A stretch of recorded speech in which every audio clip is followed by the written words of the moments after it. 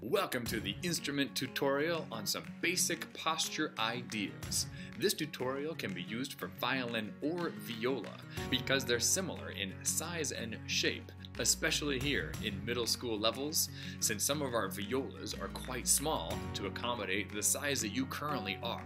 So as we go through, remember that violin and viola have similar tendencies, whether we're talking about the angle on the shoulder, the angle of the wrist, the placement of the elbow, or the curvature of our fingers. Enjoy and get ready for notes on the D string.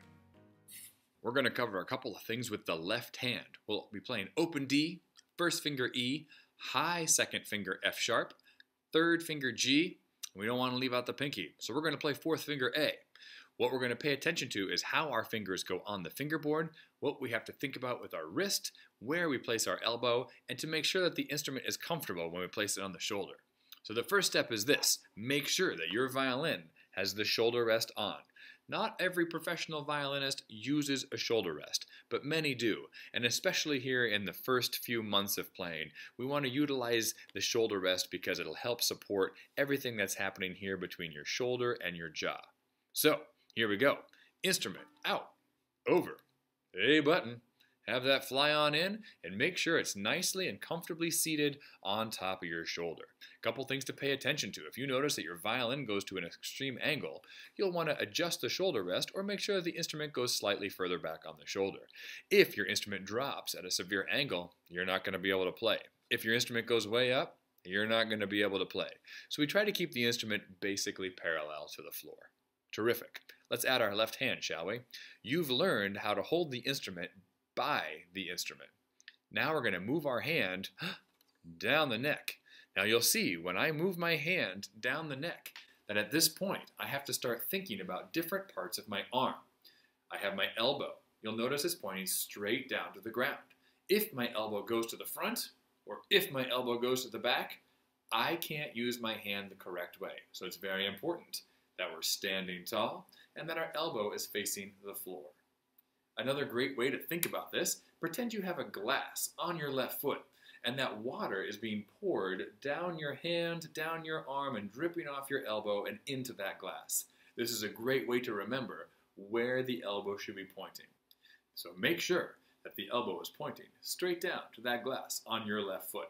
If you look at your wrist, you'll want to make sure that it is essentially neutral from the knuckles down to the elbow, not overcommitted out and definitely not overcommitted in. We don't want a broken candy cane. Give that one to your sibling. Go get yourself a new one and make sure that you have a nice round shape from your fingers to your wrist down to your elbow. Nice and round. We don't want this broken candy cane. We don't want this pain and destruction in your tendons. Make sure that the wrist is nice and relaxed and a natural shape from knuckles to wrist to elbow. So, we've thought about the wrist, we've thought about the elbow. Let's make sure we think about the fingers as well. You'll see from this angle that everything is rounded. The knuckles are rounded. Nothing is flat and nothing is at an extreme angle. Round angles. So let's take a look here. We'll rotate and you'll see that my first finger as it is placed actually makes a square. It makes a square as we place the tip of our finger on the fingerboard. At this point, what I recommend is try to place all four fingers down on the fingerboard and take a look at what happens.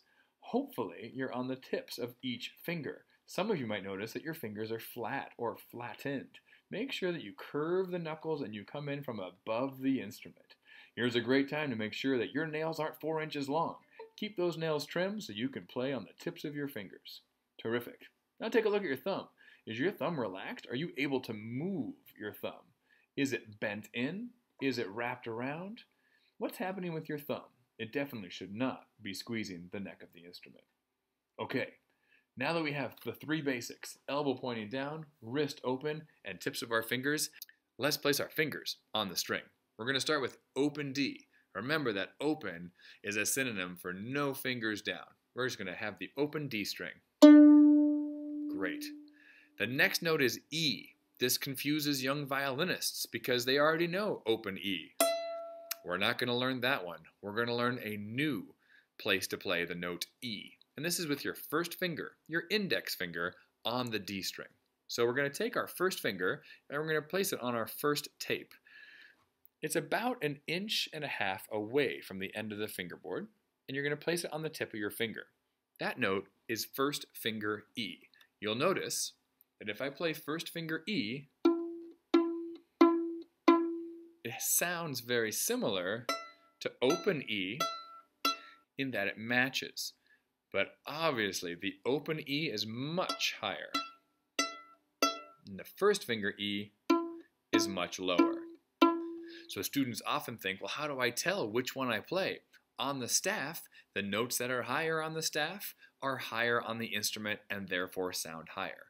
The notes that are lower on the staff sound lower and are lower on the instrument. So we have open D, first finger E, and now we're going to place our second finger down on the tip of our finger on what's called F sharp. F sharp, ready, go. Hmm. Now you all know your alphabet. So we have D, E, F, G. Here's our third finger. Goes right next door to F sharp. Then after G comes the note A. Now this can be a big reach for your pinky, so make sure that your elbow is still pointing down and that your wrist is still open. You're going to put your pinky down on the last stripe on your instrument. And this is fourth finger A.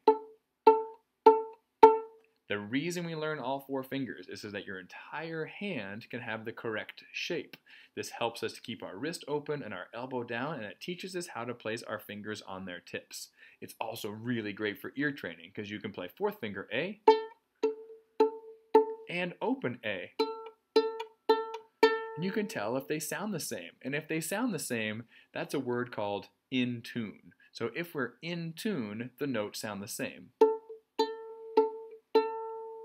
And those are the four notes that we've added to our open D string.